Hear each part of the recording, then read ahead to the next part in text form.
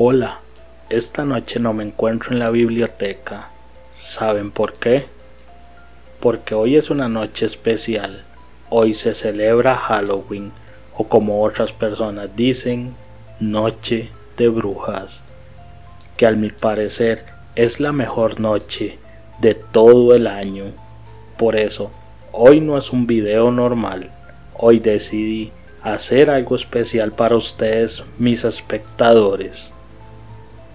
Hoy, por primera vez en el canal, tenemos dos invitados muy especiales que a lo largo del video van a saber quiénes son. Esta noche empezaremos con un pequeño top. Espero que lo disfruten.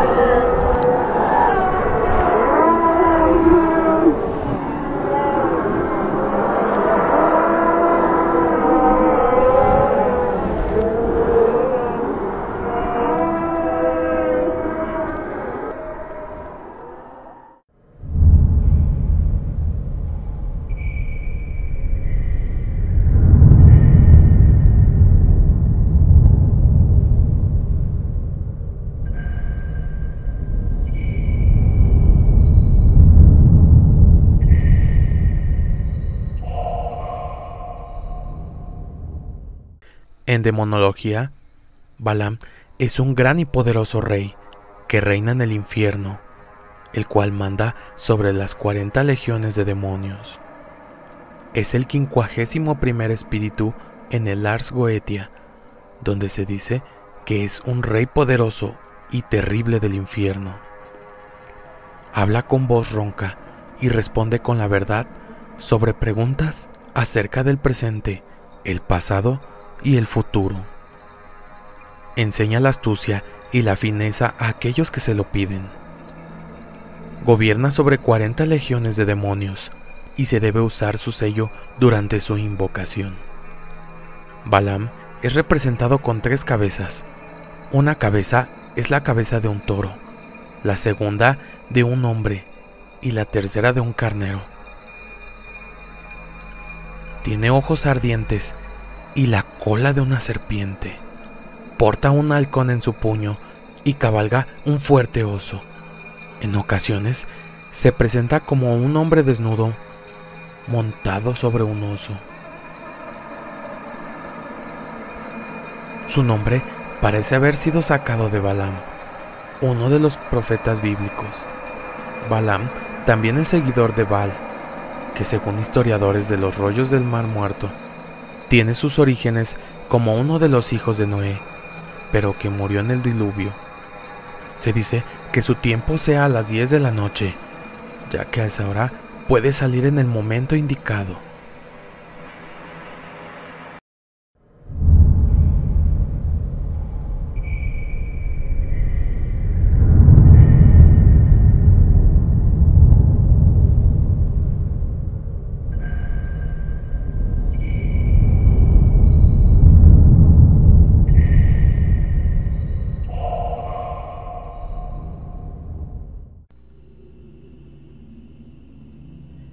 Demonología, Ose es un gran presidente del infierno, gobernando tres legiones de demonios, treinta para otros autores y en la pseudomonarquía Daemonum no se le otorga un número de ellas.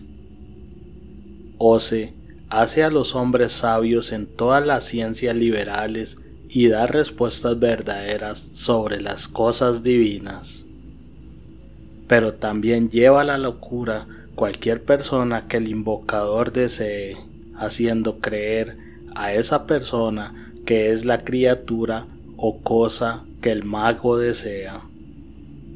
Ose se presenta como un leopardo que después de un tiempo se transforma en hombre.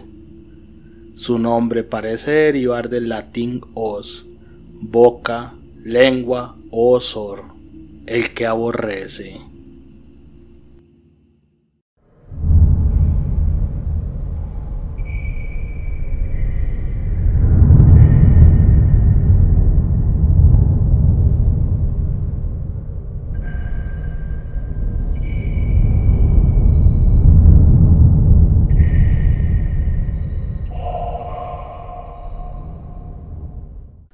En demonología, Simejes, también conocido como Kimaris, Simeiges y Simeries, es un marqués fuerte y poderoso del infierno. Es el sexagésimo sexto demonio mencionado en el Ars Goetia. Es descrito como un guerrero grande que monta un caballo negro y tiene la capacidad de localizar tesoros perdidos u ocultos, y de hacer a un hombre en un guerrero de su propia semejanza. En el diccionario infernal se dice que también hace a los hombres extremadamente ligeros en la carrera y concede el porte distinguido de los militares. Gobierna 20 legiones de demonios y se debe usar su sello durante su invocación. Además, gobierna a todos los espíritus de África.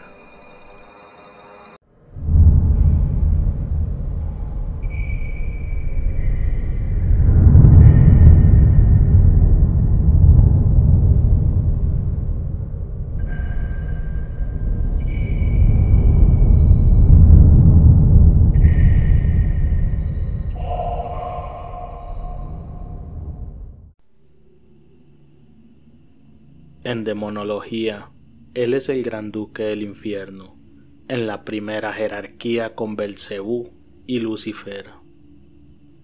Él es parte de la Trinidad maligna.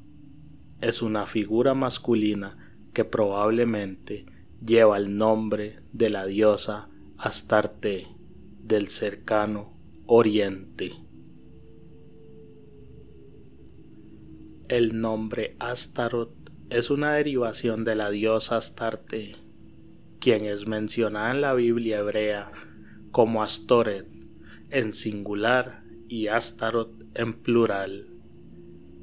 En la demonología, Astaroth es un príncipe coronado del infierno, un ángel que se corrompió cuando visitó el mundo del hombre, y su caída causó mucha controversia, pues una vez fue un serafín y príncipe de la gran orden de los tronos. Aunque descendió al mal por su propia mano, este demonio asegura estar libre de pecados.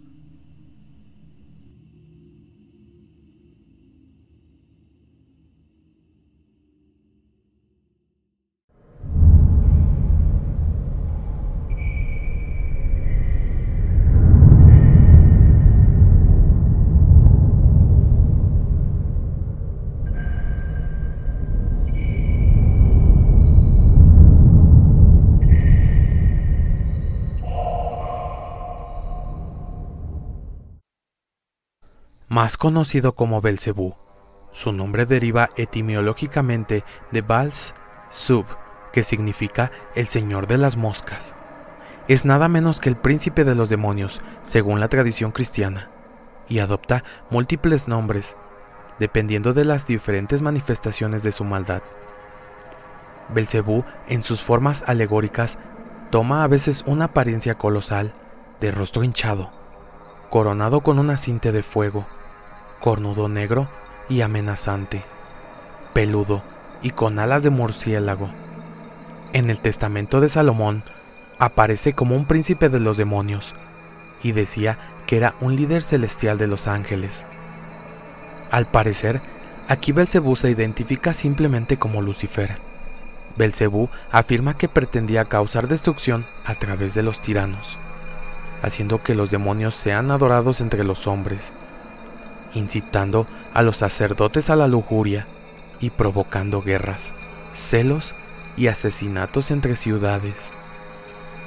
En el ocultismo y la demonología cristiana, este demonio pertenece a la jerarquía más alta del infierno. Según Johann Weyer, Belzebú lideró una revuelta exitosa contra el diablo. Es el principal lugarteniente de Lucifer, el emperador del infierno, y preside sobre la orden de las moscas. John Milton colocó a Belcebú en la segunda jerarquía, siendo uno de los muchos querubines caídos en el poema épico El paraíso perdido.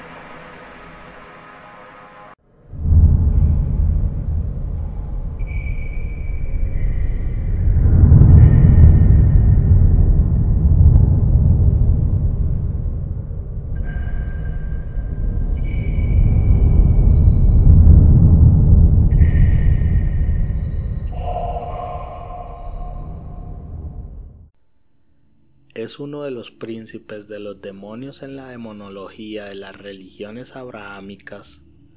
Aparece en el libro bíblico deuterocanónico de Tobit y el libro de Tobías. Y también se le menciona en el Talmud, en la literatura apócrifa, en la historia de los profetas y reyes del autor musulmán Tabari y en los tratados de demonología. En el libro de Tobit, Asmodeo se enamora de Sara, la hija de Raquel, y cada vez que ella contrae matrimonio, mata al marido durante la noche de bodas. Así, llega a matar a siete hombres, impidiendo que consumen el matrimonio. Más tarde, Sara se promete a un joven llamado Tobías, hijo de Tobit. Este recibe la ayuda del arcángel Rafael, el cual le enseña cómo librarse del demonio. De este modo, Tobías toma un pez y le arranca el corazón, los riñones y el hígado. Colocándolos sobre brasas, Asmodeo no puede soportar los vapores así desprendidos y huye a Egipto, en donde Rafael lo encadena. No se sabe más de la suerte que corre este demonio, pero se le presenta como símbolo del deseo carnal. En el Talmud, Asmodeo no parece ser una criatura tan maligna como en otros libros, sino que relata historias sobre su trato con el rey Salomón. Al parecer, Salomón llegó a atrapar al demonio y lo obligó a construir el templo de Jerusalén. En otra leyenda medieval judía, Asmodeo y Salomón se cambiaron el uno por el otro durante varios años. En otra, Asmodeo es presentado como el rey de todos los demonios, similar al concepto cristiano de Satán y como amante de Lilith después de que abandonara a Adán.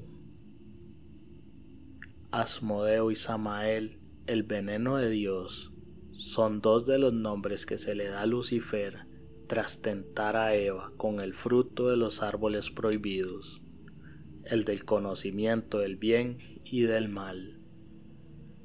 Tras su caída, se emparejó con Lilith, la primera mujer de Adán, y con ella engendró miles de demonios. En ocasiones se atribuye a Asmodeo la paternidad del mago Merlín en la Edad Media, cuando se quería asociar los siete pecados capitales con sus demonios responsables. Se le indicó como el demonio de la lujuria.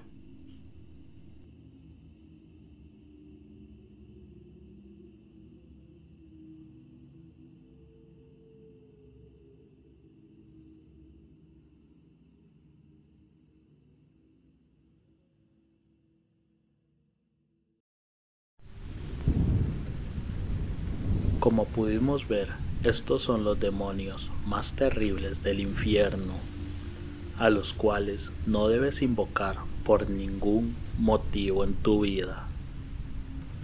Lo que escucharemos a continuación es una experiencia paranormal que nos envió mi amigo del canal, La Noche Maldita MX. Escuchémoslo a continuación.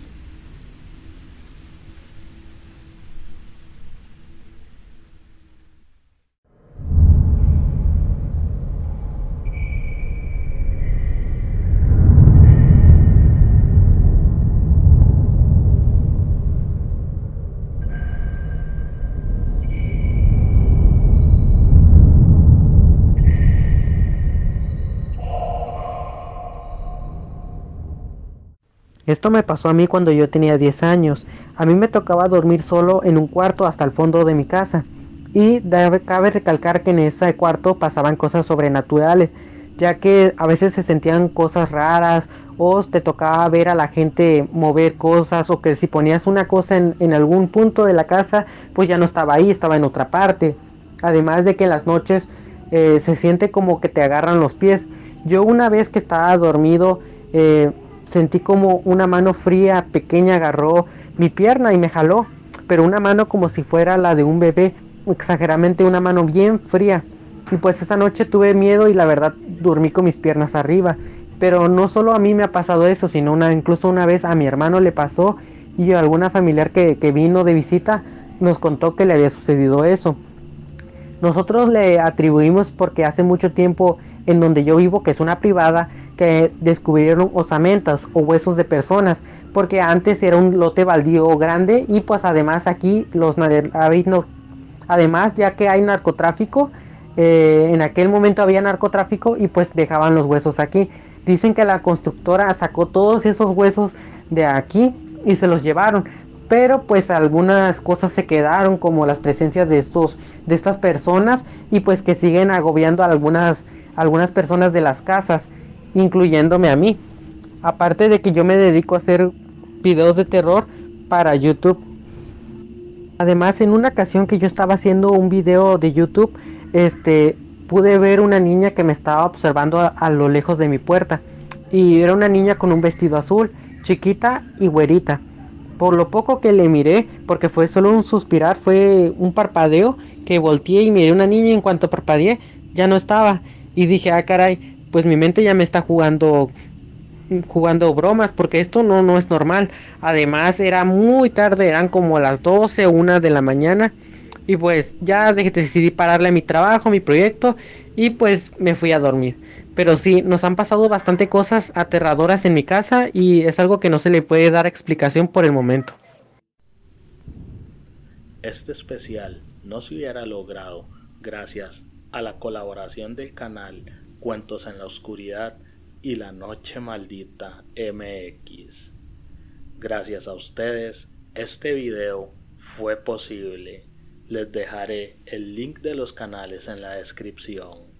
Espero que hayan disfrutado este especial de Halloween. Si te gustó este tipo de colaboración, suscríbete y apoya el canal con un like. Se despide su humilde servidor y que pases buenas noches.